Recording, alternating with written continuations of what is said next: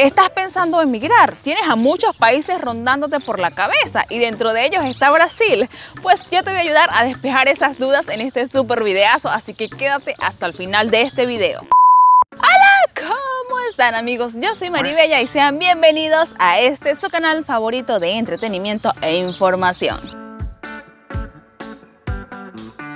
Y vamos a comenzar con las ventajas. La primera de ellas es el proceso de inmigración. Brasil ha sido históricamente un país abierto a los inmigrantes. El proceso de inmigración es más sencillo, al contrario de lo que ocurre con otros países, Brasil está abierto a recibir a los inmigrantes. Incluso en ciertos casos puedes tramitar el ingreso así no tengas pasaporte. Igualmente la xenofobia aquí es bastante baja. Si bien es cierto que en todas partes hay xenofobia, este fenómeno no es tan común como en otros países de la región. Universidades públicas. En Brasil existen muchas universidades estatales en las que puedes estudiar de forma gratuita. E incluso en algunos casos, por desgracia no en la mayoría, si cumple con los requisitos puedes aspirar a una beca para los gastos de manutención. Naturaleza y biodiversidad. ¿Te encanta la naturaleza? Entonces te encantará Brasil, ya que el 60% de la selva amazónica se encuentra aquí. Salud. El sistema de salud público en Brasil tiene cobertura incluso para los extranjeros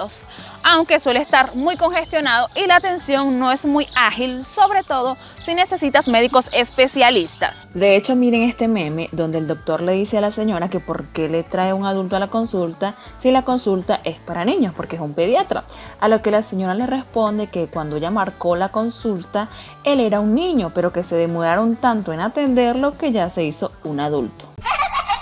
Costos de vida. Brasil es más barato que Estados Unidos e incluso Europa, exceptuando Río de Janeiro y Sao Paulo, que son ciudades más caras. Si no cuentas con tantos ingresos, puedes vivir en una ciudad intermedia donde es más económico el costo de vida. Y de esta manera te ahorras más dinero mientras encuentras un empleo. Variedad de comida. En Brasil hay muchos alimentos que no vas a encontrar en ningún otro lado del mundo. Tanto frutas como verduras extrañas. Y de igual forma la comida es más saludable puesto que la tierra en Brasil es muy fértil y por ello los agricultores los agricultores no usan tantos químicos. Ahora vamos con las desventajas y comenzamos. Largas distancias en autobús. Brasil es el quinto país más grande del mundo, por lo que ir de una ciudad a otra, incluso dentro del mismo estado, puede significar unas 16 horas o más de viaje. Bastante, ¿no? Aprender un nuevo idioma, aunque esto puede ser subjetivo, puede que para ti sea bueno o que sea malo.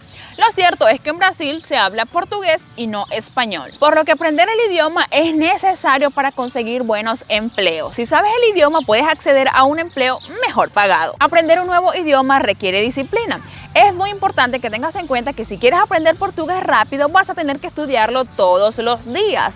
Lo recomendable es que si puedes acceder a una escuela de idioma lo hagas para que aprendas más rapidito como fue en mi caso. Aunque el día a día también te obliga y vas a tener que aprender sí o sí. Dificultad para convalidar títulos universitarios. No es que sea un proceso imposible, pero sí es bastante complejo lograr que tu título universitario sea legal en Brasil. En cada caso es distinto. Médico tendrá que cumplir requisitos muy distintos a los que pudiera cumplir un ingeniero. Investiga muy bien a fondo qué necesitas para convalidar tu título en Brasil, ya que muchas personas a veces se traen solamente su título y cuando están aquí se dan cuenta que necesitan apostillarlo, que necesitan las notas y son procesos que no se pueden hacer lamentablemente desde la distancia. Cambios climáticos extremos. Si bien es cierto que en gran parte de Brasil hace calor, o bueno, eso era lo que yo creía, averigua muy bien si en la ciudad a la que tú vas hay estaciones. Porque cuando yo llegué aquí a Foz de Iguazú y viví mi primer invierno, yo no sabía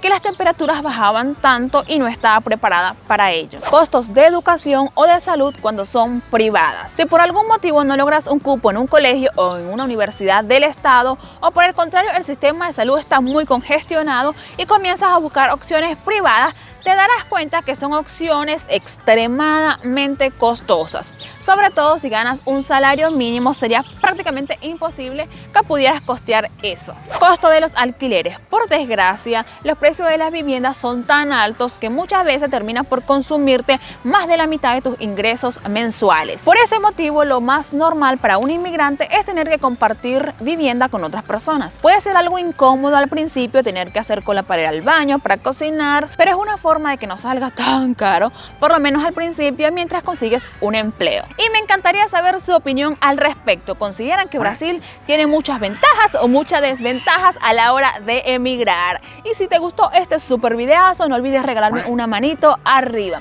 Y si sabes de alguien a quien este video le puede hacer de muchísima utilidad, por favor compártele este super videazo. Recuerden que tengo redes sociales y que me pueden encontrar en cualquiera de ellas como arroba maribella y estaría encantadísima de verlos por allá. Y si son nuevos por estos lares, los invito a que se suscriban y se sumen a esta hermosa comunidad que cada día va creciendo y creciendo y creciendo más. Y no olviden activar la campanita de notificaciones porque estoy haciendo unos directos sorpresas que no los voy a dejar así grabado para que lo puedan ver después, sino que simplemente lo van a ver las personas que estén ahí al momento y me pueden preguntar de todo. Nos vemos en la próxima y